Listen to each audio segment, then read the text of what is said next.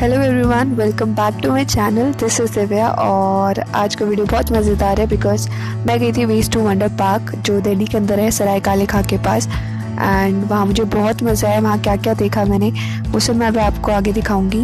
And this is the chart जिसमें लिखा हुआ है हर पर्सन की कितने प्राइजिंग है मंडे को क्लोज रहता है। एंड आप इसका स्क्रीन ले लीजिए अगर आपको देखना है क्या क्या फ़ी चार्जेस है वहाँ की। सो so, अगर आप चैनल पे नए हो तो make sure to like and subscribe तो आगे बढ़ते हैं। So this park is in Sarai Kale Khan and fees बहुत नॉमिनल है, पचास रुपये अडल्ट की है एंड बच्चों की उससे भी कम है। And these are the seven wonders जिनके बारे में आपको बता रखा है कि क्या क्या उनमें कौन कौन से पार्ट्स यूज़ किए गए हैं। सबसे पहले आपको बहुत सुंदर सा फाउंटेन दिखेगा जो and this park is basically initiated by S D M C and this is how it looks like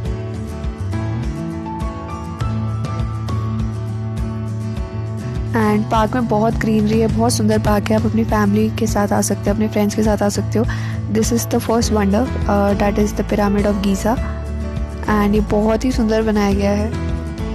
and इनमें ऐसे ऐसे ऑटो uh, रिक्शा वगैरह के पार्ट्स यूज़ हुए हैं आप सोच भी नहीं सकते। एंड उनसे ये चीज़ें तैयार की गई हैं।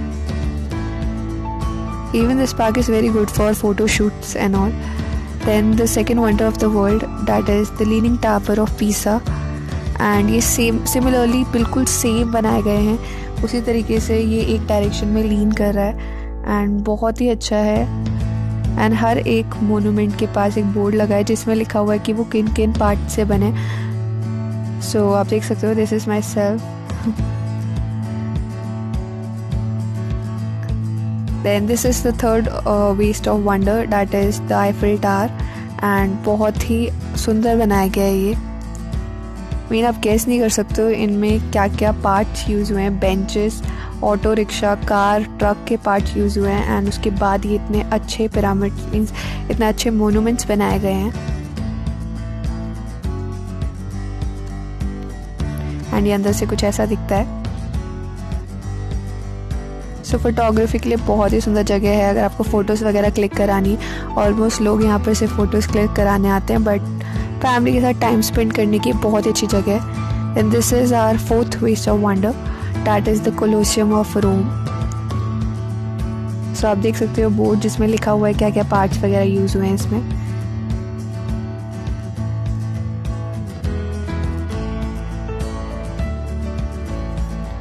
And the best thing is कि ये वेस्ट आइटम से बनाया गया है उसके बावजूद इतना खूबसूरत है ये।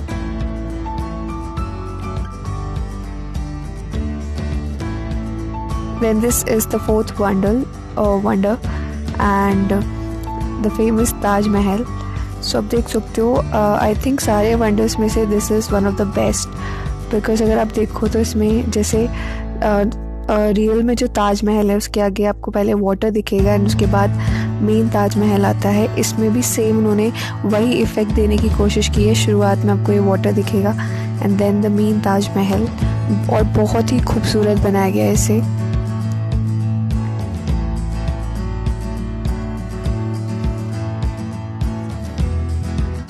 सो आप देख सकते हो, भीड़ बहुत रहती है।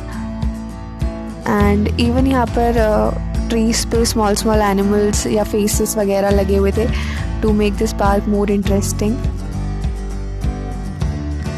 next wonder that is Christ Redeemer and ये भी बहुत खूबसूरत बनाया गया है। Even people were taking photos same ऐसी शेप बना के लोग फ़ोटोज़ वगैरह ले रहे थे तो बहुत ही सुंदर जगह है जाने के लिए।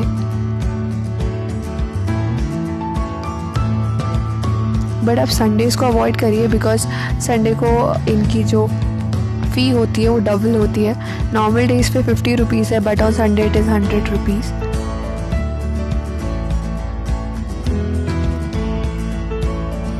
then are next wonder that is the Statue of Liberty और ये भी बहुत ही शानदार बनाया गया है।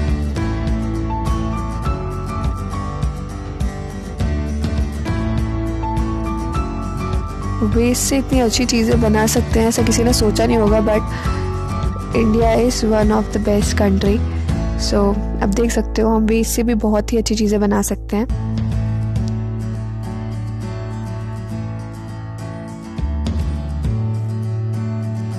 In this park itself is very beautiful क्योंकि यहाँ पर ये छोटे छोटे ब्रिजेस बनाए गए हैं, बैठने की जगह बहुत सारी हैं एंड दिस वाटरफॉल जो बहुत ही सुंदर बनाया गया है। सो ऑल एंड ऑल बहुत ही अच्छा पार्क था ये। आप डेफिनेटली अपने फैमिली फ्रेंड्स के साथ ज़रूर चाहिए इस पार्क में एक बार। और आप देख सकते हो कितनी एकदम शांत जगह है। इवन बैठने की बहुत सारी आपको बेंचेस या नॉर्मल रॉक्स वगैरह मिल जाएँगी। एंड इवन खाने का भी बहुत अच्छा इंतज़ाम है। यहाँ पर शॉप्स हैं, जहाँ पर आपको कोल्ड ड्रिंक से लेके नॉर्मल वाटर चाय वगैरह कॉफ़ी खाने की सारी चीज़ें, डोसा नॉर्थ इंडियन फ़ूड सब कुछ मिल जाएगा at a reasonable price and मुझे यहाँ जाके बहुत मज़ा आया। आपको भी यहाँ डेफिनेटली जाना चाहिए। And if you like the video make sure to like and subscribe तब तक